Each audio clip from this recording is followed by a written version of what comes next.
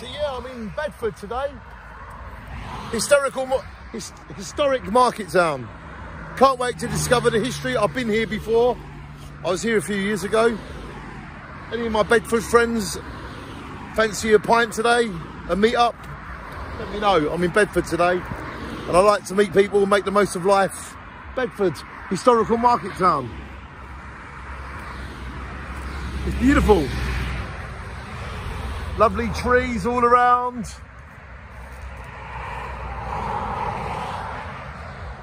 I totally love travelling. I love my adventures. And any of my Bedford friends fancy meeting up today?